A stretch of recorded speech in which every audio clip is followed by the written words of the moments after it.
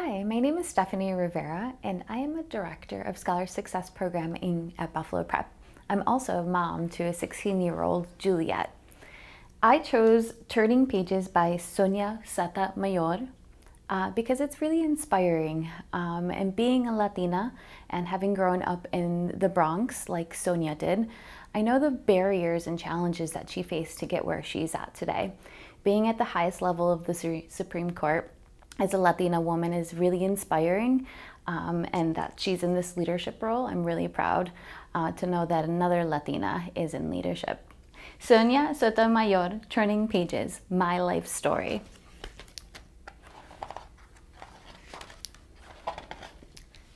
My story is a story about books, of poems and comics, of law and mystery, of science and science fiction, written both in Spanish and in English.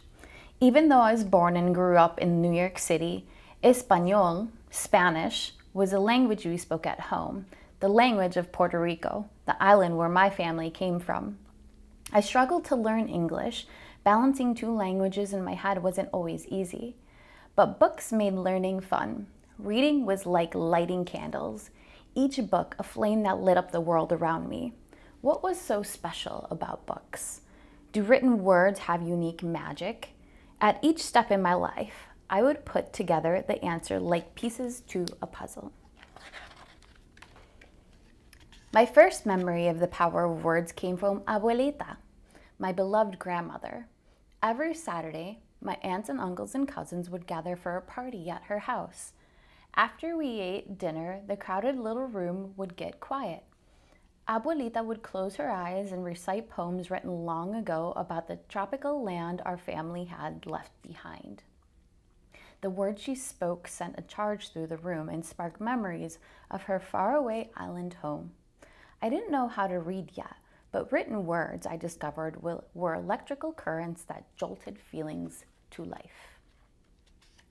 When I was seven, I got sick and was diagnosed with diabetes. I was so afraid of the big needle used to take my blood for testing at the hospital that I ran outside and hid under a car. I also learned that I would have to go get shots to, every day to stay alive. All those needles were really scary. I found my courage in an unlikely place comic books.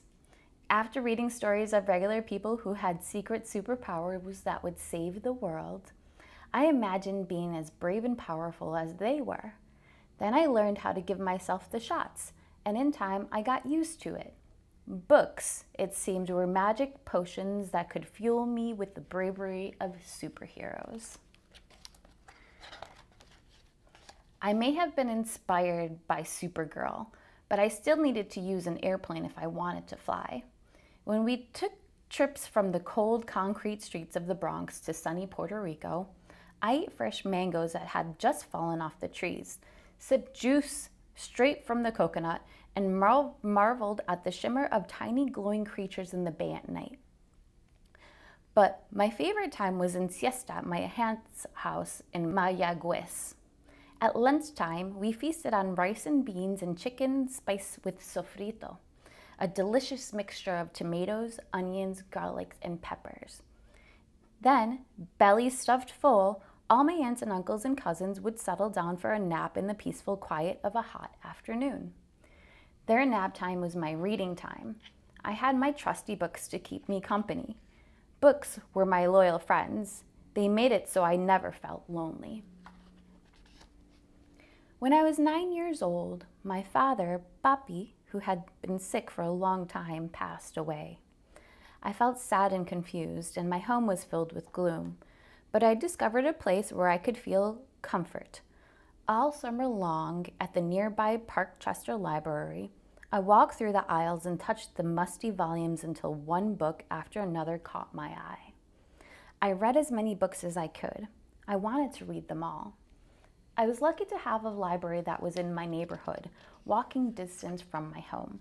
For hours, I could sail away to wondrous lands in the stories I would choose from the stacks. The library was my harbor, and books were little boats that helped me escape sadness at home. Leaving home, though, was the farthest thought from my mind the day a delivery man rang our apartment doorbell, hauling two huge, heavy boxes. What's inside? My brother Juan and I asked, and Mommy, my mother, told us to look. Tearing open the packing tape, we discovered an entire cyclopedia. There were 24 massive books, each unveiling secrets about the world, from the tiniest atoms to the tallest mountains, from the hottest deserts to the frozen tundra. Mommy had created a library in our very own home. Every time I opened a volume, I learned new words and ideas. There were miracles of life taking place in our bodies and outside in the world around us. And I started to think about my place in it. I felt like a deep sea diver exploring mysterious depths. Books were my snorkels and flippers, helping me get there. Back on land, Nancy Drew, the young girl detective hero in dozens of books, fired my imagination. Her make believe life was so different from mine. She lived in a big house on a tree lined street and partnered with her dad, a successful lawyer, to solve crimes. Despite our differences, I would doze off picturing myself in Nancy's shoes. Could I figure out mysteries too? Books were a time machine, inspiring me to imagine what I would be when I grew up.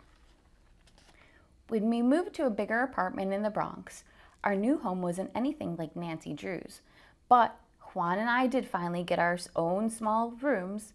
It was really just one large room divided by a thin wall, but we each got to decorate our rooms. I chose wallpaper with pictures of constellations in the sky. I loved reading science fiction books about journeys into deep space, time travel, and encounters with aliens. Even more amazing, real life astronauts had just landed on the moon. They left behind a gift of words, messages of peace from the countries back on Earth. I read everything I could about the moon landing. If that was possible, then anything I could imagine was possible too. Books were my launch pad, blasting me straight into my dreams. As I got older and read more, my future slowly started to take shape, like a ball of clay that you carefully sculpt into a figure with your fingers. In high school, my teacher assigned my class a book about boys on a deserted island who went wild because there were no rules. The boys hurt each other in the chaos of a land without laws. This book opened my eyes. I saw why we needed laws and rules to feel safe, so that people have the freedom to grow and flourish. I did not yet know that I would end up working in law, as a lawyer and later as a judge, but I was learning why laws mattered. Books were lenses bringing into focus truths about the world around me. The Bible, a special book we studied at my Catholic high school, taught me lessons about how to treat my neighbors. In one story, Jesus was approached by a crowd ready to punish a woman who had done wrong. Instead, Jesus challenged them, saying, he that is without sin among you, let him first cast a stone at her. His calm, powerful words made people think. Slowly and silently, the people let her be and went home. I learned that we shouldn't be so quick to judge people who do the wrong things. Sometimes we make mistakes that can hurt someone else, but that doesn't make us bad people. It might just mean we have to say we're sorry, put things right, and try harder. Books were teachers, helping me sort out right from wrong. When I started college at Princeton University, the tree-lined paths and old stone buildings looked very different from my neighborhood in the Bronx. I was excited to be there, but I was homesick and sometimes I felt like I was drowning in everything I didn't know.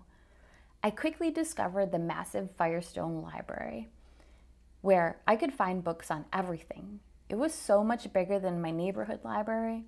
I would study for hours to catch up. I even improved my writing using grammar books. Books became my life preserver, keeping my head above water. All that reading taught me about the furthest reaches of the planet, even about the little island closest to my heart, Puerto Rico. I read about men and women there who worked hard but were paid very little. I read about how Puerto Rico became part of the United States of America. Just like in books, my grandfather worked in a cigar factory and got sick from the dust, and my aunt spent long days stitching handkerchiefs. Like many of the Puerto Ricans who came to New York, Mommy had a hard life. She studied for many years to become a nurse and was able to skimp and save so that her kids, Juan and I, would have a brighter future. Reading had long taught me about the world outside, but now I was seeing in books a reflection of the lives led by my own family. Books were mirrors of my own universe. When I became a lawyer, I used cases in law books to convince judges that people on trial were innocent or guilty, how they had done right, where they had gone wrong. Just as my family story was mirrored in history books about Puerto Rico, I saw that law books reflected real life stories of people who got into trouble but still needed to be treated fairly in court. Law books were maps to guide us to justice. Justice means treating people fairly under the law. It's also the name of what I am now, Associate Justice of the Supreme Court of the United States. As a justice, I study the important words in American law, the founding document of our government, the Constitution of the United States, and decide which laws agree with it. Every day, from the lessons of law books of the past and write decisions and opinions that will be bound into the laws of the future. Books are keys that unlock the wisdom of yesterday and open the door to tomorrow. Flame, electricity, magic potion, friend, boot, boat, snorkel, time machine, launch pad, lens, teacher, life preserver, mirror, map, key. The written word has been all these things to me and more for as long as I can remember. Like flagstones on a path, every book I ever read took me to the next step I needed to go in, in school and in life, even if I didn't know exactly where the trail would lead. Piece by piece, my puzzle came together. Where will your journey lead you?